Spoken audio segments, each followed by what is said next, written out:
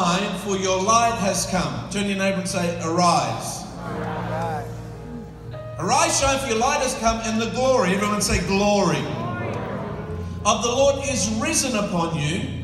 For behold, the darkness shall cover the earth. How many know we're living in dark times?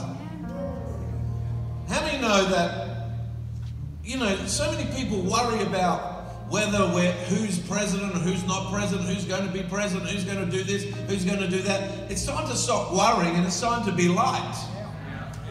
Because the answer isn't in our politics, the answer is in our church, being the light of the world to our community. I live in Australia, but I watch Fox News, CNN News, and it's amazing how one channel says one thing and another channel says another thing. I'm like, wow, this is like a schizophrenic nation. Doesn't know who it is. I'm not an American. We are like you too, so don't worry. My, our prime minister, your president equivalent, he's crazy. Um, so, how many know we don't put our trust in men, but we put our trust in God? Arise, shine. And behold, darkness shall cover the earth, and deep darkness the people. I, I think that's talking about now. It's a prophetic declaration written in Isaiah. But I think we're living in what seems dark times. But I love this. But the Lord will arise over you. This is cool. For his glory will be seen upon you, planet shakers Austin. The Gentiles shall come to your lights, and kings to the brightness of your arising. Lift up your eyes all around and see they gather all together and they come to you. Your sons shall come from afar. God's going to raise up a church that brings sons and daughters back to the, the Father. That people are afar. They might be clubbing today. They might be at sporting events today. They might be sleeping in today. They might be in another state today. They might be in another country today. But God's promise to us here at Planet Shakers is your sons and daughters that seem afar are going to come back. Not just your, your physical sons and daughters, but your spiritual sons and daughters. And it says, And your daughter shall be nursed at your side. I have a daughter, any Joe can touch her, she touches me. And you shall see and become radiant, and your heart shall swell with joy, because the abundance of the sea shall be turned to you. This is a promise of God. The wealth of the Gentiles shall come to you. This is for you this today. There's wealth coming to people today. The multitudes of camels shall cover your land, and the whatever of Midian and Ephah. And, and those from Sheba shall come to you, and they shall bring gold and incense, and they shall pro- proclaim the praises of the Lord. And all the flocks of Kedar shall gather together to you, and the rams of wherever shall minister to you, and they will ascend with the acceptance of my altar. And I will glorify the house of my glory. And it goes on. It says, Surely the coastland shall wait for me, and the ships of Tarshish shall come first to bring your sons from afar, and the silver and the gold with them to the name of the Lord your God, to the Holy One of Israel, because he has glorified you. And sons of foreigners shall build up your walls. In other words, there's a whole group of people that you've never met, ever encountered, never seen. They're going to come and help build the house of God. And the king shall minister to you. I love this. Therefore, your gates shall be open continually and shall not be shut night or day, that, may, that men may bring you to the wealth of the Gentiles and the kings in their procession. For the nations and the kingdom which will not serve you shall perish, but those nations shall be utterly destroyed. The glory of Lebanon shall come to you to beautify the place of my sanctuary, and I will make the place of my feet glorious. And all the sons of those who are afflicted shall come bow down to you. And all those despised shall come full, full prostrate, prostrate. And they shall call you the city of the Lord, Zion of the Holy One of Israel. And it goes on, I will make you an eternal excellence, a joy of many generations, and you shall drink the milk of the Gentiles and milk the breasts of kings. And you shall know that I am the Lord and your Savior, Redeemer, and the mighty one of Israel. So here's all these promises. God's promising sons and daughters. He's promised. I I better get where the light is because if I go over there, my head doesn't shine anymore. He's promising sons and daughters. He's promising us wealth. Wealth isn't just finances, wealth is in your spirit. Well, I know a lot of rich people who aren't wealthy, they just have money. Money does not mean wealth. You know what was wealth to me? People is wealth. People are wealth. Seeing a lost person come makes me more wealthy than a, than a businessman giving me a million dollar check.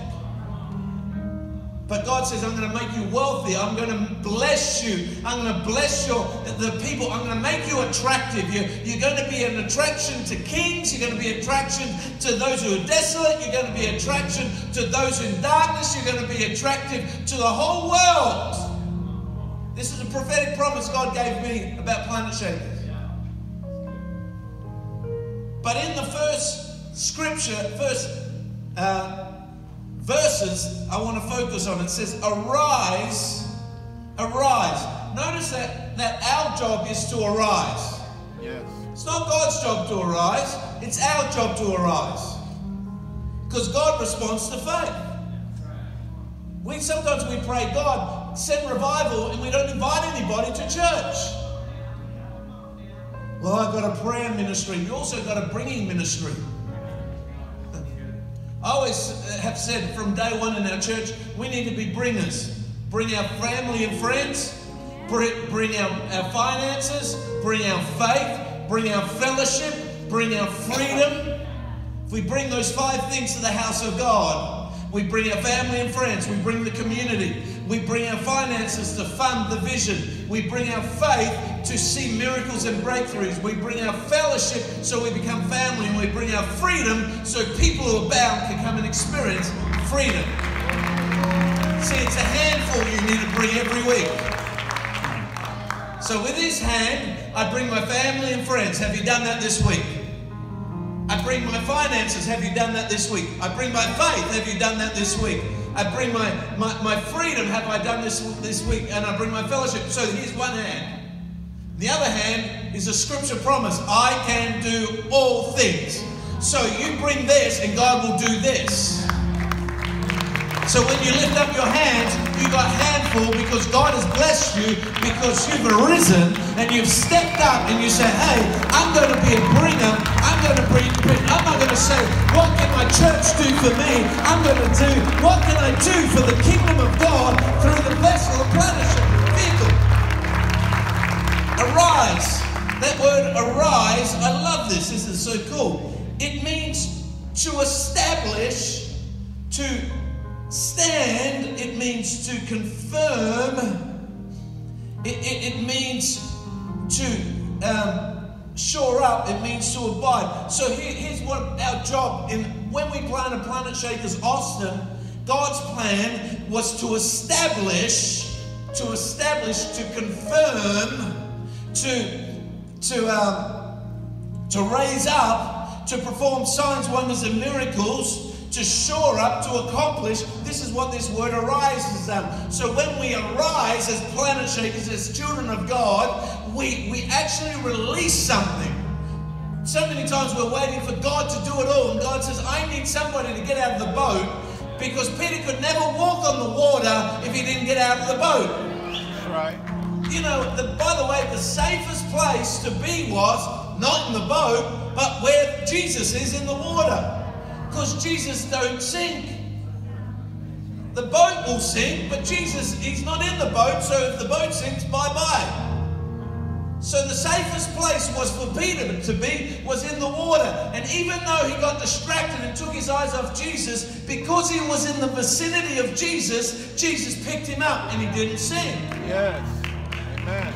See, I, I, I call this faith life the happy, scared life. happy you're doing the work of God, but scared to death what's going to happen. When Poncho and Laura drove for about three weeks from Portland, Oregon to Austin, Texas, they, they took about 25 days it was actually three, but they had, you know, had family vacation. There's a cow. Let's go and let's go and observe the cow for 30 minutes. Yes, that's how long it took for Poncho to have a number one and two break, and um, and so then they'd go on and go, oh look, there's we haven't seen cowboys before. Wow, they have hats. Some of you look at me, what the heck is he talking about? I don't know. I get into this jet lag zone and it just goes. but when they came here, they were so excited, but they were scared. What, how are our kids going to adjust? How are these people going to accept us? How, what are we going to do for a building? What are we going to? They were, they were excited. They were happy fulfilling the call of God, but man, were they scared. Not fearful, not like, huh, but there was this, whoo, I'm getting out of the boat here. I'm getting out of my security here. I'm getting out of everything I know. I'm leaving my babysitters behind. I'm leaving everything I know, the coffee places I know, the places that I go and rest in, the places I go and ride my bike in. I, but I'm now going to go on a journey to discover all this new stuff. It's time for us. It's so good what God has done so far. But to touch Austin, to touch this city, there needs to be an arising bring our friends and family, that we bring our finances, that we bring our faith, that we bring our fellowship, that we bring our freedom. Arise and shine. I love this. I love the shine because Jesus, I was driving through Israel one day, as you do. And we have this guide. And as I'm driving through Israel, uh, it was quite funny. We were filming this, this TV show. And we had this camera, and this shepherd come out. Because we took this picture of this shepherd, and he come out, and he come over the car and he tried to steal, rip the camera out because and then he wanted us to pay money and the cameraman was freaking out he's going will you drive will you drive and we're all in the back laughing it was awesome to see him just scared and the guy had his crook and he was going to hit him and uh, we're going yes do it he needs it he now works for Daystar no I'm just kidding um, But we're all driving, and, it, and it, the guy goes, See that city up there? We're like, Yeah. He said, That's that city where Jesus says a city on a hill cannot be hidden. And we looked up and we saw this city that just stood out. It wasn't, it wasn't hiding, it just stood out. There was something there.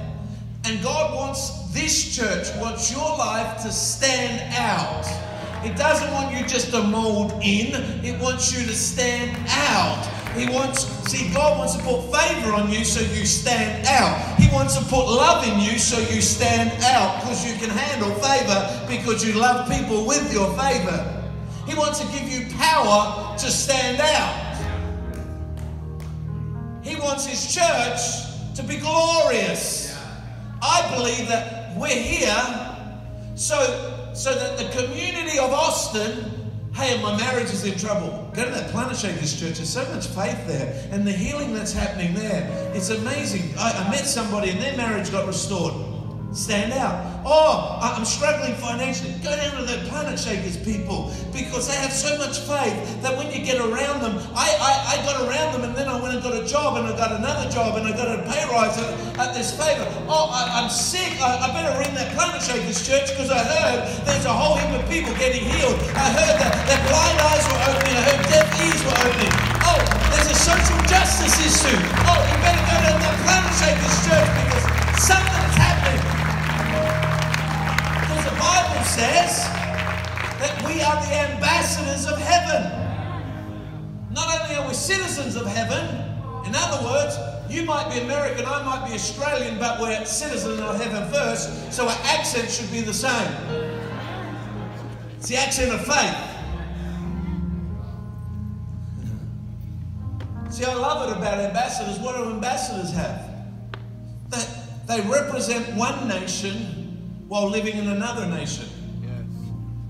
So, if you're an American ambassador living in the third world, you represent America living in the third world. See, an ambassador has the resource of the nation it represents at its disposal. Yes. So, In the third world, an American ambassador might be living in third world situation, but he's living in first world provision. Why? Because he's an ambassador of America who is first world. An ambassador has the military might of the country they represent at their disposal. In other words, if there's an attack, they can call on the military might to protect them. You, you see, that, that's what an ambassador has. We have military might in heaven. We have our praise. He gives us a garment of praise for the spirit of heaviness. He gives us a garment of praise for the breakthrough. He gives us prayer to see things change. He gives us faith to activate heaven. He gives us miracles and breakthrough. You see, have military might at our disposal. We have angels working for us day and night. They're protecting us. They're, they're, God, they're, they're around us. We have the Holy Spirit who empowers us.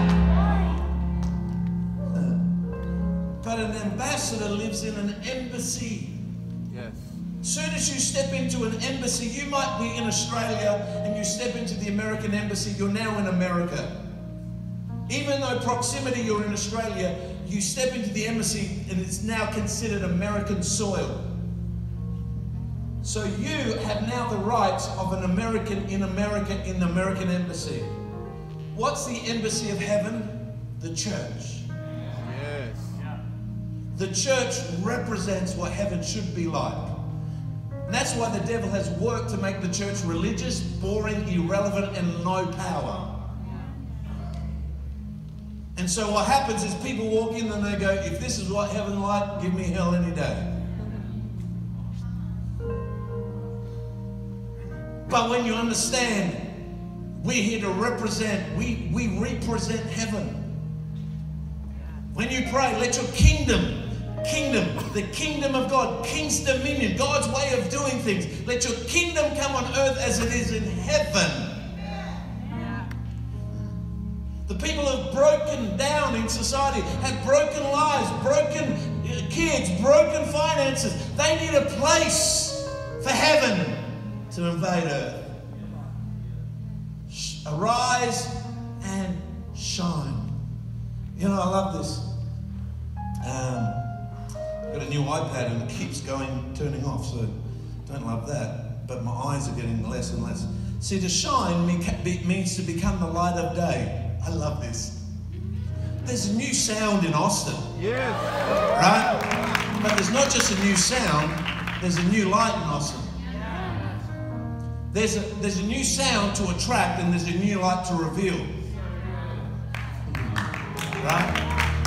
It's a light of day to become light of day. The Bible says His mercies are new every morning. God has plans for Austin that He would bring in a church, and He'll bring other churches in that display His glory eh, to say, hey, there's a new day coming for Austin. There's a new situation coming for Austin. There's a breakthrough coming for Austin.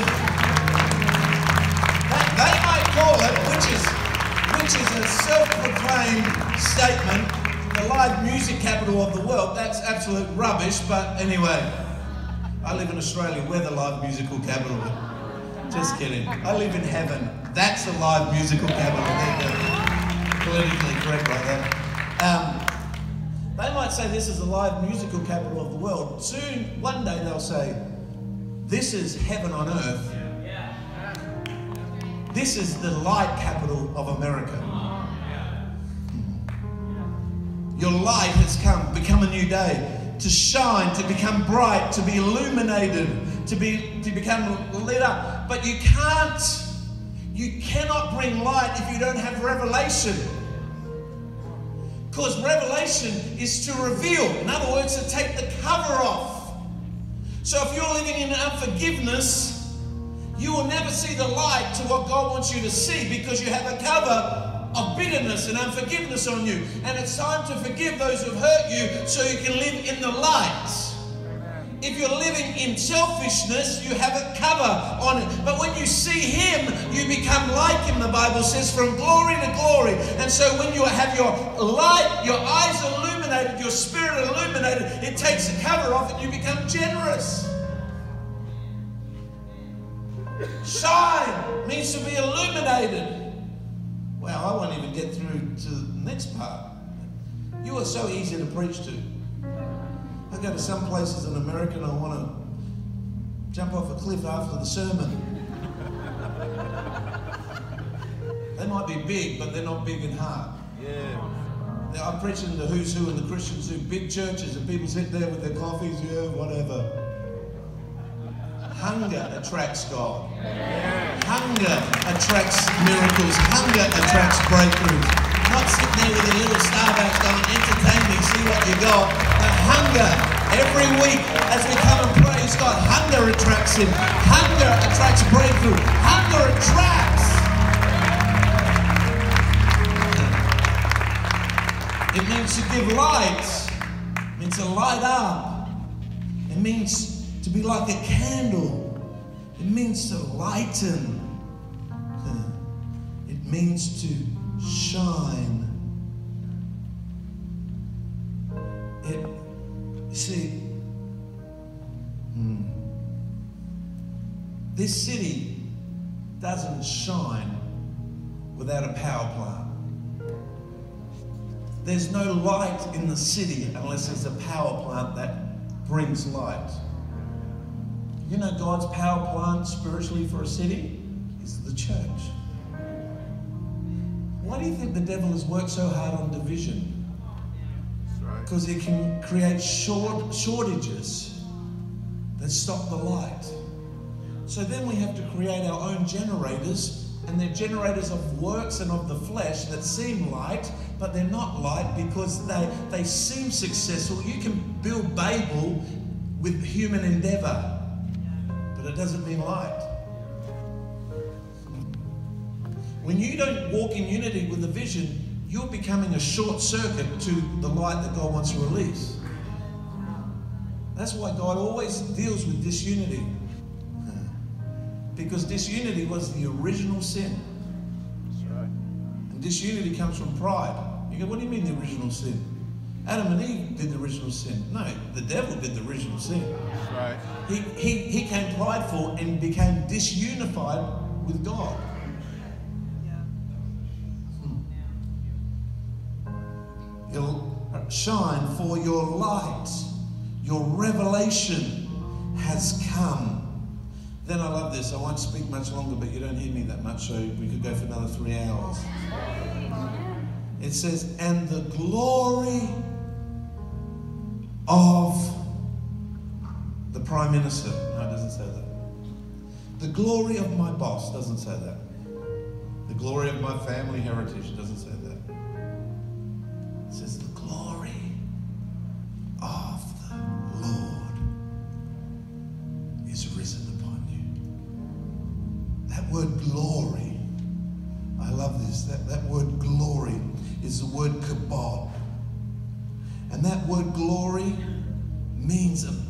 Abundance.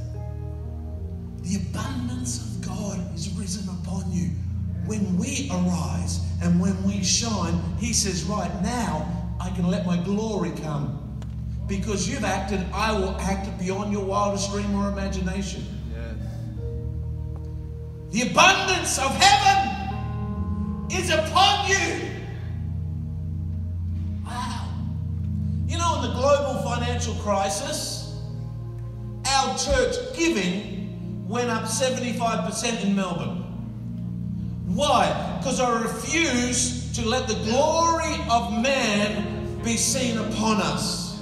Because I don't live according to the economy of Australia. I don't live according to the economy of the Western world. I live according to the economy in heaven. And so if I arise and I shine and I'm generous in a tight season, His glory is abundance.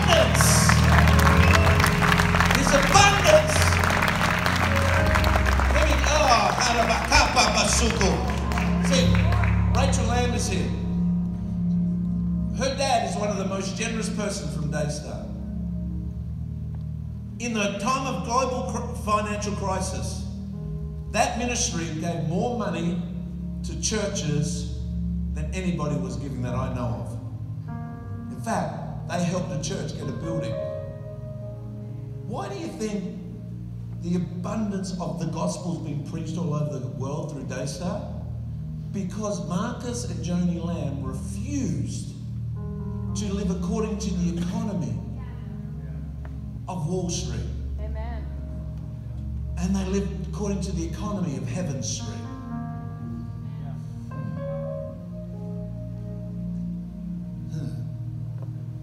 See, some of you got to watch Planet Shakers Conference on Daystar. Who do you think funded that? I didn't. Rachel talked her dad into it. Thank you for that, Rachel.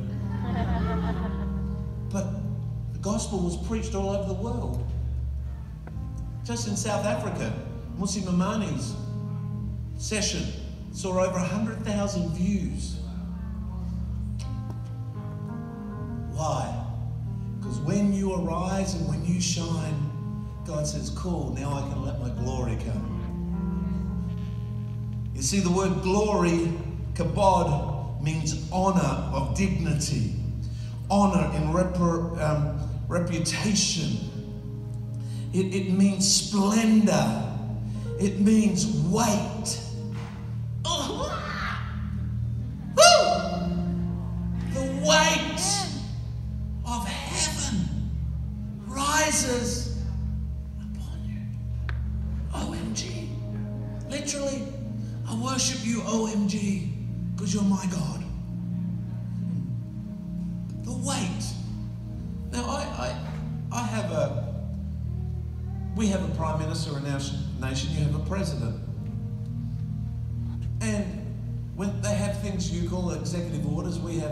Things that's similar.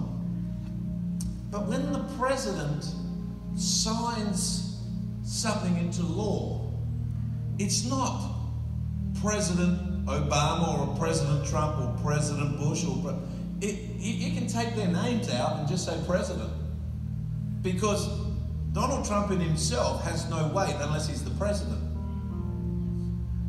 Obama has no weight unless he's the president. President Obama. Any president doesn't have any weight until they, the only weight they get is once they become the president to be the world leader. You're all going quiet here because you're thinking of personalities. I want you to get rid of personalities in your thought and think about their position. So they can write executive orders that influence the nation and the nations. Why? Because the weight of their office has authority and has power. So when God talks about, and my glory, arise, shine, for your light has come, and my glory shall be seen upon you. Uh, the glory of the Lord rises upon you, is risen upon you. The glory of the Lord, it's talking of the weight of heaven which is far more powerful than the, the President of the, the, United States, far more powerful than the Prime Minister of Australia, far more powerful than any world leader that's ever come or ever will be, far more powerful than the great, great, great uh, uh, places of Rome and different places that, that he said, you, you arise, you shine. Watch this. I will add my weight, and when my weight is upon you, when my weight comes behind you, there is nothing in hell or in earth or in heaven that can stop it. Because when I put my weight, it's like my executive order, and people can complain about it, people can say this about it, but when God says it, it is done.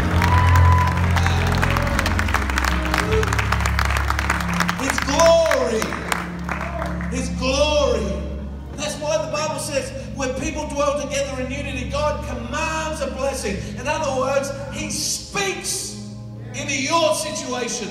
And when we're in unity, it's not just in unity with each other, but that is important. It's in unity with what He says, it's in unity what His Word says, it's, it's coming into agreement with what He says. He says, Now I can command, put my weight upon behind you. Some of us are going, God, why isn't your weight coming behind me? Maybe there is some unity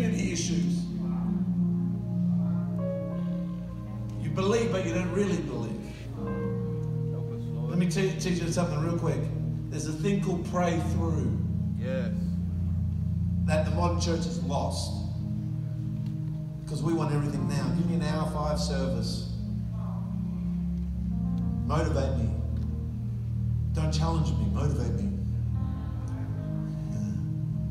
But there's this thing called praying through. And when I don't believe something, I've asked for it, but I don't believe it, what I do is I get in His presence and I keep praying and I keep worshiping until my, my frozen, frosty heart gets melted by His glory. And then I, once I've got into position, I believe. Now I believe. Doesn't matter what I see, I believe. So because I believe what I see will come into order, and it might take a week, it might take two months, it might take a year. But what I've seen in His presence, so I've got to keep going back so I don't get any ice around my heart that will stop my belief. That's why if you're not a worshiper 24 7, if you're not a reader of the word, if you're not somebody who makes the house of God important in your life, your belief.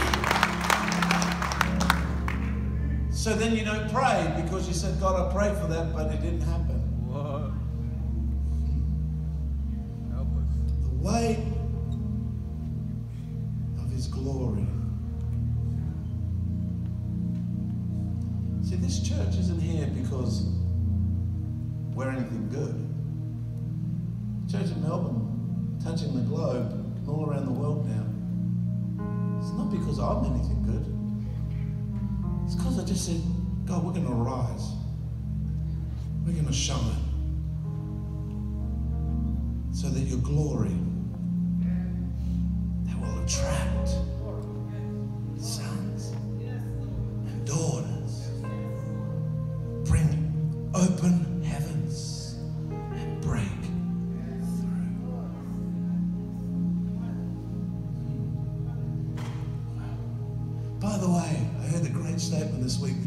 grace a lot. But the angels aren't shouting grace, grace, grace. They're shouting holy, holy, holy. Yeah. If you want to see his glory,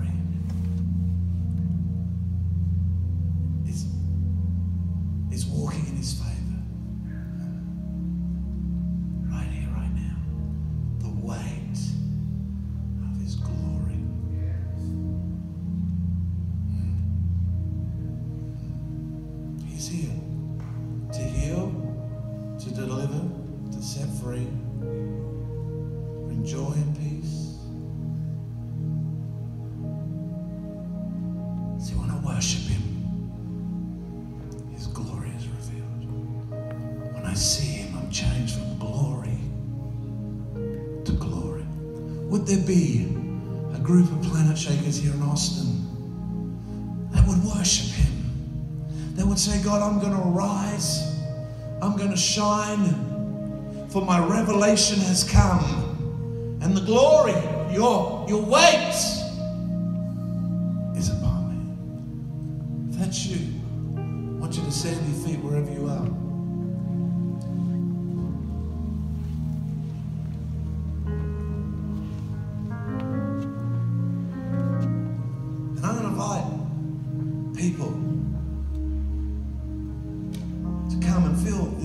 altar. It's an altar, A L T A R. It's just a space, but we'll call it an altar today an altar, A L T A R. Present your bodies as a living sacrifice on the altar, A L T A R. Why? So God can alter you, A L T E R. The altar is to alter. You say, I want to carry His glory.